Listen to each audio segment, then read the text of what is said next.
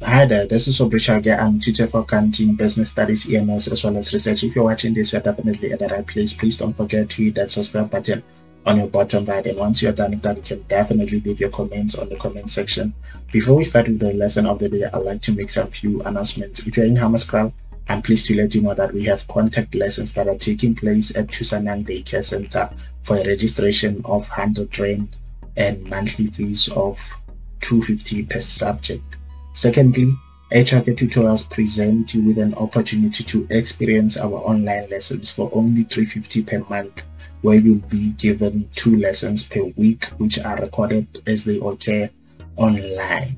And the last package include face-to-face -face lessons, where I'll be meeting you once in a week and teaching you accounting, helping you to prepare for those examinations and those tests. So do get in touch with us by using the details that will appear at the end of this video. With that out of the way, let's get into today's lesson.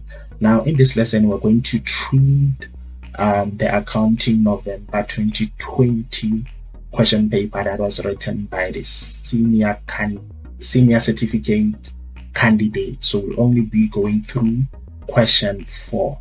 Okay, so I'm gonna go to that question now.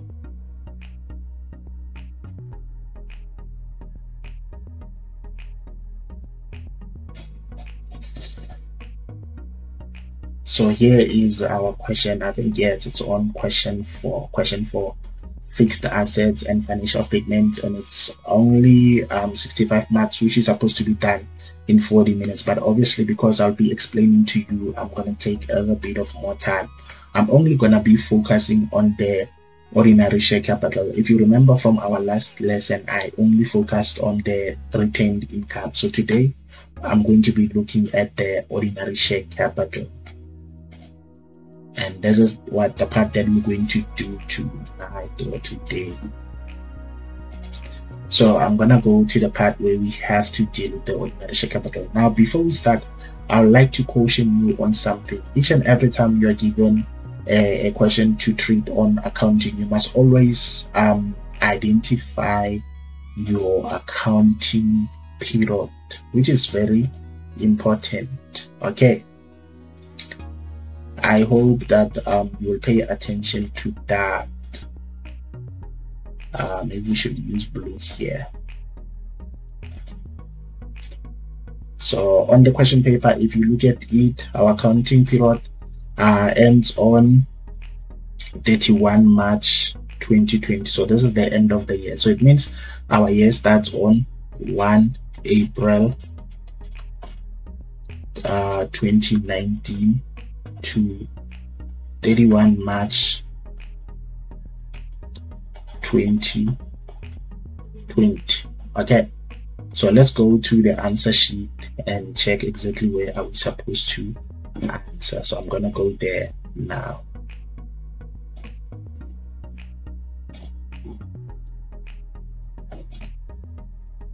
Okay the answer sheet is fine. Let's go to the calculations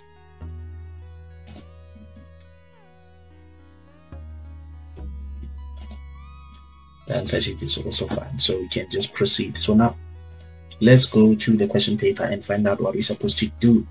So on the information we're given an extract few extracts that we're supposed to use to complete our financial statement. Okay? So here we're expected to do the balance sheet as well as some couple of notes and also filling some theory information. And if, if you check at this question uh, it's costing you 16 marks which is a lot. But then because this is a free lesson i'm going to be focusing on the uh, ordinary share capital note as i said. And if you also check here you are also expected to do the balance sheet or the statement of financial position. And when we compare this to what we're supposed to do the format is the same. So if i were you i'll make sure that i understand exactly what is happening in this question because it has got a lot of marks. I think 65 marks which is a lot so let's go to the extract that only affects the ordinary share capital. So we are told that at the beginning of the year on 1 April 2019, 800 ordinary shares were issued. Okay, so how do we know uh, the value of the, the shares that were issued at the beginning of the year? We're going to go to the trial balance that they gave us. If you check here, ordinary share capital is 4,800,000 and this is the monetary value. If you want to find out the price of the shares, we can divide by the number of shares that were issued at that time. That time, okay? But we're not gonna do that now. So we're gonna go to the answer sheet and check what we have. So they've already written for us 800 ordinary shares issued at the beginning, which uh, have a monetary value of 4,800,000. So we are interested in the shares that were issued during the year and the shares that were repurchased and then the shares that were issued at the end. Okay. So we can go to our information. On the information, uh, I think extract C, they're telling us that on 31 May 2019, 400 ordinary shares were issued, but then they did not give us the price. So we need to make sure that we get the price of the ordinary shares that were issued so that we can be able to calculate okay? And then they also sold some shares on 1 october. So for us to get the price of these shares we need to check the monetary value of the total shares that were issued before the repurchase of shares.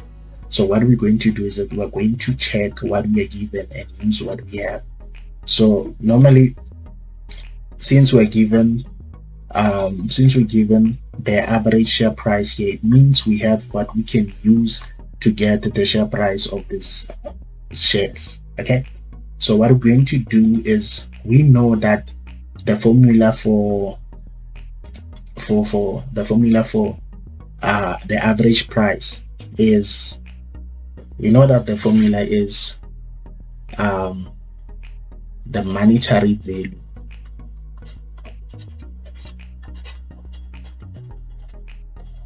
of issued shares which in this case will be represented by X because we don't know the monetary value of those shares that were issued before the repurchase. Or we can just say and then from there what we're supposed to do is to also look for the number of shares issued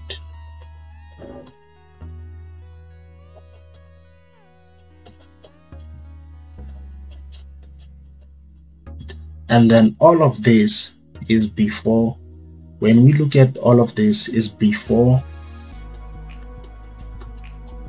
repurchase. So it means that the total monetary value of the shares that were issued before the repurchase is not known. So we can have that as x over the total number of shares issued. We know that at the beginning we had around 800 shares. So going to say 800 shares 800,000 shares plus 400,000 shares okay?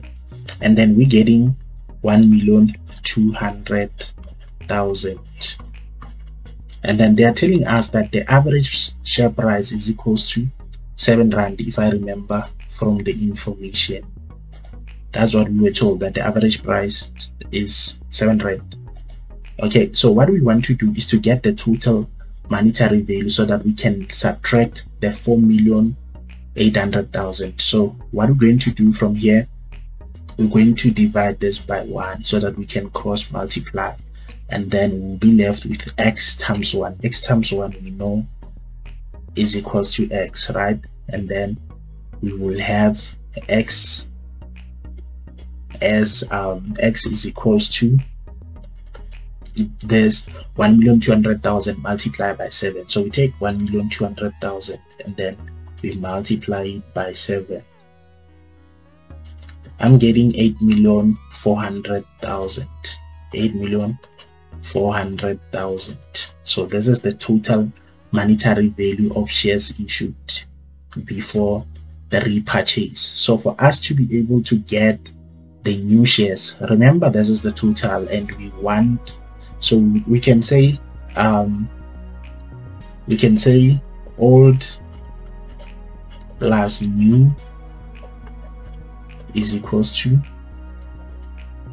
8,400,000 so that we can be able to get um, the new the monetary value of the new shares so which we can use to get the share price. So we know that the old uh, monetary value of the shares that we issued is 4 million 800 which is given in the trial balance and then we say plus n which will give us 8 million 400 thousand.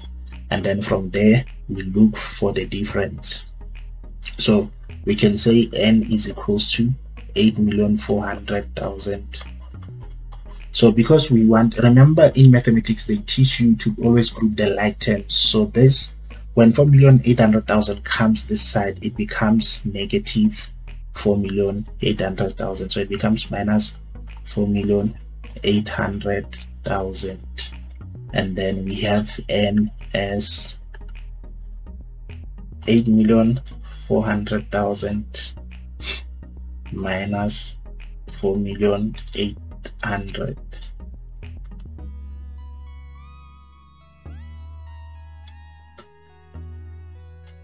the answer that I'm getting is 3 million 600 thousand. So it means that the monetary value of the shares that were now issued is mean 3 million 600 thousand. So to get the share price we will say the total monetary value of the new shares which is 3 million 600 thousand.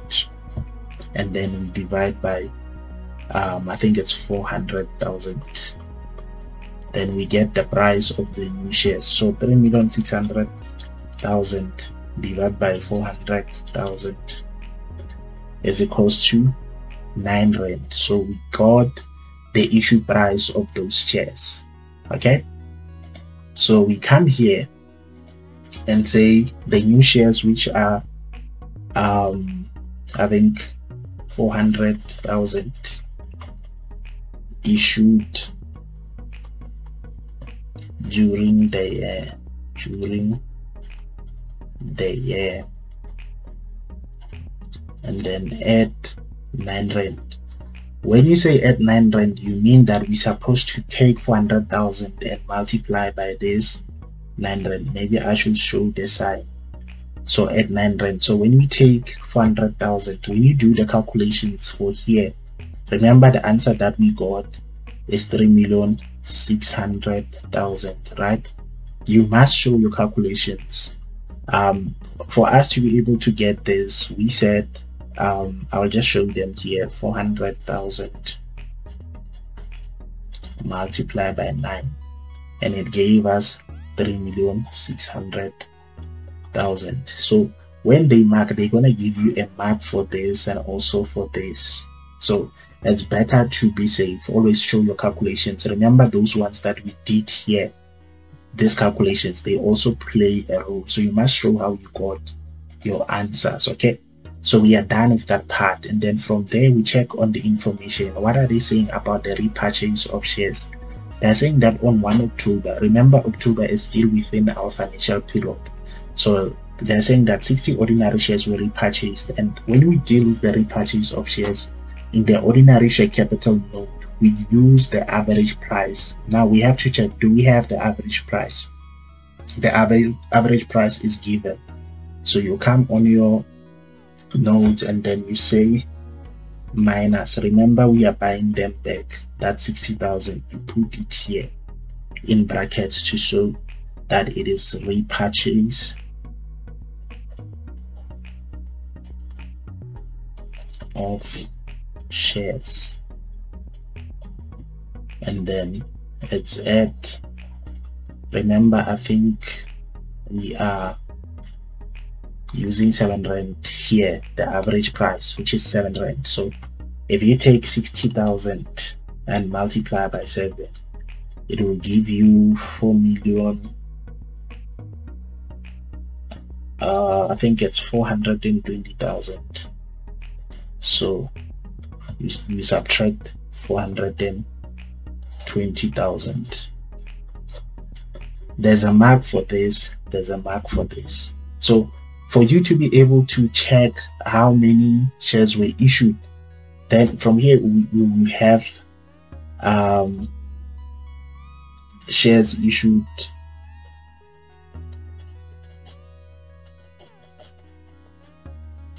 issued at the end the end of the year.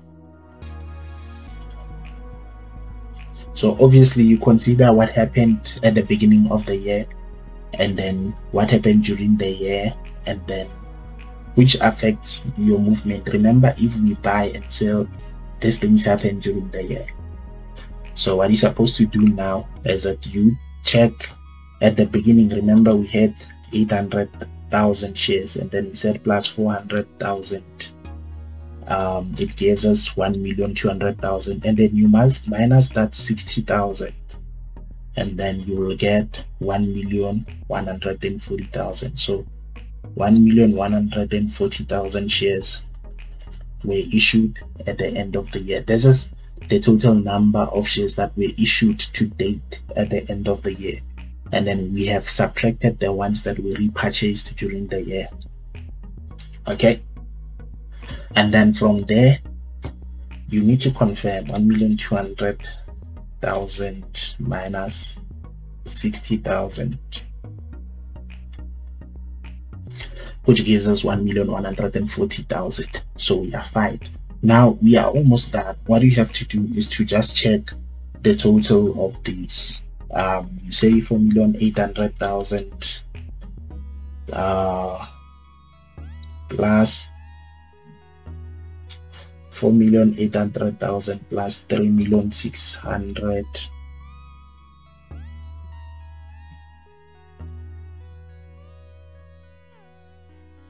thousand. Which will give us eight million four hundred thousand and then you subtract you remember that 420,000 you subtract it and then we're getting um 7 million 980,000 so we get 7 million 980,000 and then that's your answer here for the ordinary share capital. This is the num the, the total that you're going to take to your balance sheet on this part here on ordinary shareholders equity under ordinary share capital. Remember ordinary shareholders equity is the total of ordinary share capital and retained income. So you're gonna put that total here as part of your ordinary share capital. So i hope that this has helped you a lot and that you now understand how we are supposed to do things. Let's just confirm 4 million 800,000 and then plus 3 million 600,000 and then subtract 420,000 so getting 7 million 980,000 which is correct. I hope that you've had time to understand this. If you have any question please don't feel uh, scared to ask me. Just feel free. Ask any question that you have and i will definitely be delighted to help. And then also don't forget to use the details that will appear at the end of this video to book your lesson. Thank you for watching. Stay blessed